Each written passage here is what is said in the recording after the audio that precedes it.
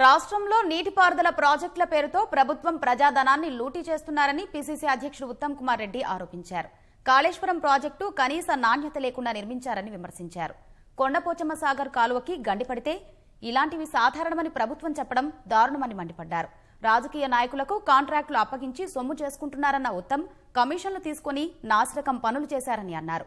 తక్షణమే సంబంధిత ఈఎన్సీని తొలగించాలని డిమాండ్ చేశారు.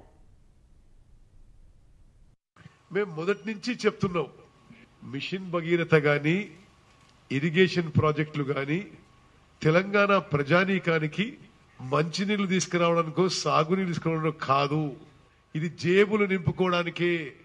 తన ఫామ్ హౌస్ పక్కన ఉన్న కాలువ తెగిపోతే ఇక అసలు ఈ రాష్ట్రంలో ఇరిగేషన్ ప్రాజెక్ట్స్ భగీరథ వర్క్స్ ఎట్లా జరుగుతున్నాయో ఒకసారి ఆలోచన చేయాలి.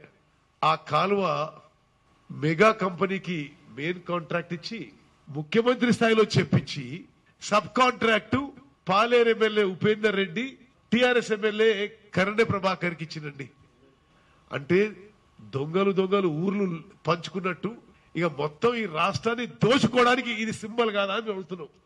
నేరుగా ముఖ్యమంత్రి ఇరిగేషన్ మంత్రి దీనికి సమాధానం చెప్పాలని చెప్పి మేము డిమాండ్ చేస్తున్నాం.